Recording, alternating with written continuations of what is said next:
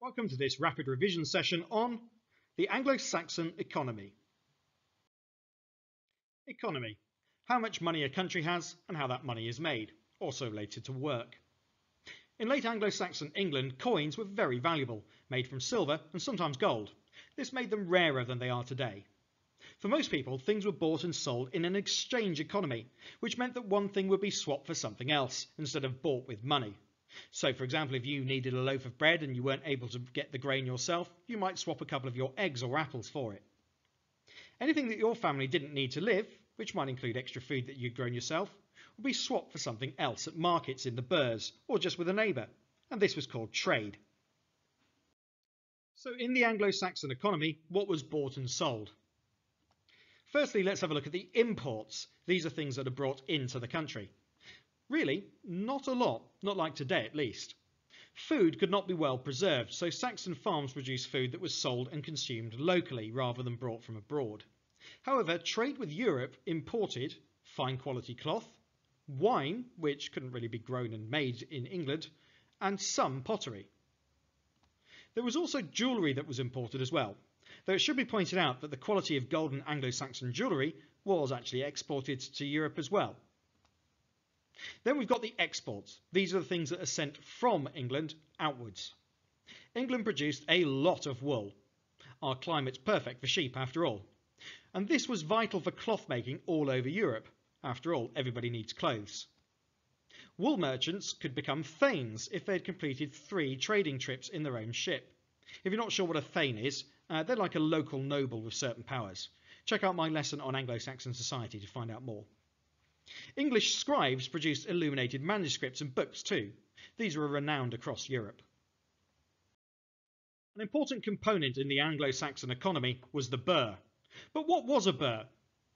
As you can see, this is like a village or small town, but it's surrounded by a defensive wall. It's fortified against attack, but its function is not purely military. This is the palisade, like a very heavily built fence. There's also a gate to control access. This actually has an important economic function too. You can check what goods are being brought into the town and collect any taxes that are due. The bank and ditch provide further status and also protection to the burh. And there are towers to look out for enemy approaches. However, we're going to consider their military functions, but also their economic functions now.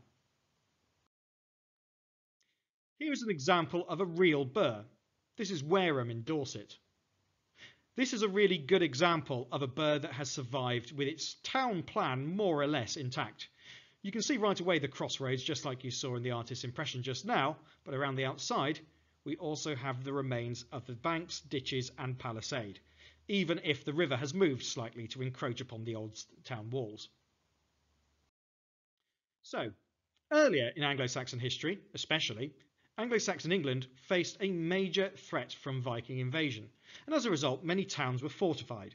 These fortified towns, known as burhs, were not very sophisticated, but they were effective. The purpose was to protect the people inside from attack. The first step in constructing a burh was to dig a very deep trench and then to build a wooden or stone wall around the town. This was usually the palisade. Inside the walls, the town, uh, the burhs rather, were not very different from any other town, except for the large gates on either end of the town that controlled who came in and out. The safety of burhs across southern England increased trade. People felt safe and confident buying and selling inside the burhs. Their defended gates also controlled who had access to the markets and provided the shire reeves with a means of collecting the king's taxes on anything that was brought in for sale. Some suggested tasks then. You could now describe a burh, explain how the safety of the gates and of the burh encouraged trade and helped the collection of the taxes, and you might be able to try and name some existing burhs that you might know them yourself. There are lots of them in the country. Maybe you live in one. Let's take a moment to consider coinage. Here we can see the obverse and reverse, that's the heads and tails normally, of an Anglo-Saxon silver penny. This is a coin of Edward the Confessor, and you might be able to make out his name around the head side. It says Edward Rex. Not an especially realistic picture of him, but you can sort of make out some sort of bearded bloke in a, a, a crown. On the other side, we can see details of where this was minted, and we can see a cross representing Christianity and the power of the church. Anglo-Saxon coinage was very high quality. although one, of this one appears to have been clipped on the sides, which was quite commonly done in order to get a little bit of spare silver fraudulently off the side. However, a coin like this might represent a poor person's wages for an entire week, and so they couldn't afford to have very many of these coins and they weren't especially useful in day-to-day -day purchases. Compare that to the coin of William I. It's slightly more realistic in its depiction of William, and you can see him looking very stern there holding a sword, altogether looking rather more ferocious than Edward the Confessor was. And on the back we can see an even more exaggerated form of the cross, perhaps showing increased power of the church. The thing is, coins are not just about money. They're a propaganda statement. By minting your own coins, you are showing that you are in charge as king. And so it was important for William when he took over Anglo-Saxon England to show this through the coinage. So you could now briefly explain how the coin symbolises and strengthens the king's power, but also how it upholds the power of the church. Some final points then. Saxon England was based partly on an exchange economy, swapping things. Saxon England also had an export economy. They exported or sent things out more than they imported them or brought them in. The main export was wool. Burhs made trade and tax collection easier and more effective and coins were high quality and helped advertise the king's power. I hope that was useful to you. If it was, like this video, or maybe leave a comment as to something that you would like to see me do a video on soon.